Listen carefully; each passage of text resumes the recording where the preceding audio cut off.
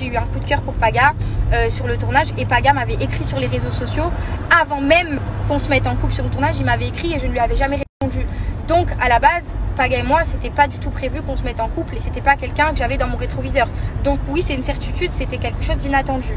Maintenant, j'ai envoyé un message à Luna en sortant du programme pour lui en parler en privé. Elle ne m'a jamais répondu et elle a préféré faire des stories chacun son délire. Si tu veux parler sur les réseaux sociaux, eh ben, il faut assumer les choses et il faut assumer que les gens derrière, ils vont te répondre et qu'ils vont prendre mal le fait que tu n'agisses pas comme une adulte à régler tes problèmes en privé.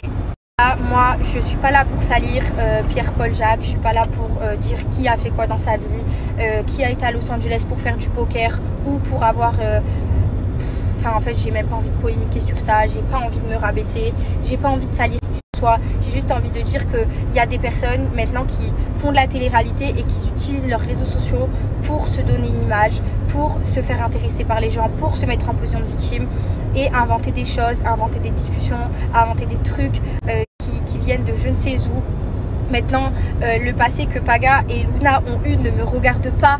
En fait, si Paga, dans son passé, il a fait des erreurs avec certaines filles, ben moi que je sois aujourd'hui avec lui, c'est à moi d'assumer, c'est à moi de porter euh, tout ça pas un problème. Maintenant, euh, les problèmes que Paga et Luna ont eu, je pense que ça fait quand même certains temps qu'ils sont plus ensemble, ça fait quelques mois, et je pense qu'il serait aussi temps de tourner la page en fait.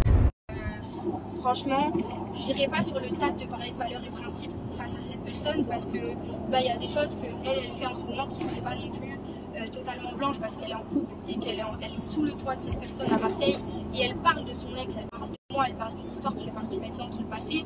Franchement, moi, si j'étais en couple, ben, je ne me pas de personne avec qui en couple dans mon passé.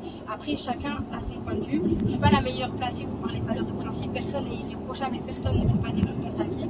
Euh, on a tous un jour fait quelque chose qu'on a regretté ou autre. Maintenant, je ne pense pas que ce soit mon cas parce que ce n'était pas mon ami. Ça ne l'a jamais été. Euh, et je n'ai absolument jamais voulu la salir parce que je n'ai jamais pris mon téléphone pour dire que Luna